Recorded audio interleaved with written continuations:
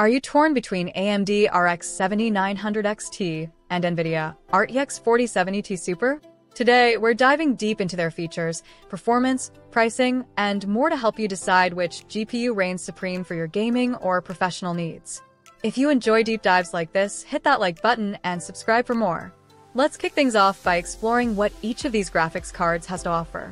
Positioned as top contenders for 4K gaming without breaking the bank, both cards promise high frame rates and robust performance. They differ in architecture, memory, and power efficiency, which makes this showdown even more interesting. Delving into performance details, the RX 7900 XT generally leads in rasterization performance. It shines in games optimized for AMD or where no specific optimizations for NVIDIA exist. Surprisingly, it also performs well in titles typically favoring NVIDIA, like Cyberpunk 2077. The RTX 4070 Ti shows its strength in ray tracing capabilities, pulling ahead in titles that heavily utilize this technology, such as F1 2022. Enjoying the breakdown so far? Don't forget to like and subscribe for more tech insights and updates.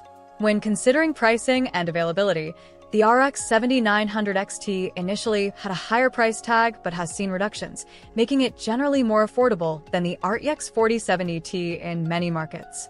This shift in pricing makes the RX 7900 XT a more tempting offer for those looking to maximize their budget. On the positive side, the RX 7900 XT offers superior 4K performance in rasterization and a better price to performance ratio as prices have dropped. However, it's not all perfect. It lags behind in ray tracing performance compared to the RTX 4070 Ti. For the RTX 4070 Ti Super, advantages include stronger performance in ray tracing and path-traced games. However, its higher price point with less frequent price drops can be a drawback for budget-conscious gamers. When compared to other high-end GPUs like the RTX 4080 or the older RTX 3080, both the RX 7900 XT and RTX 4070 Ti Super offer competitive performance for their price points.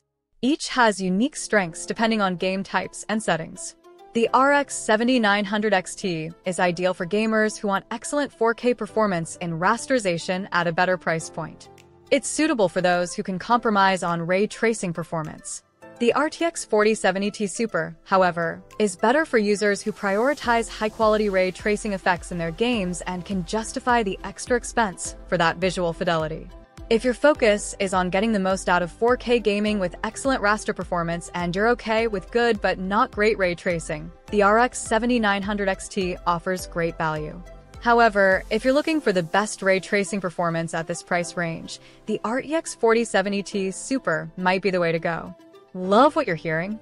Smash that like button, subscribe, and ring the bell to stay on top of the latest in tech.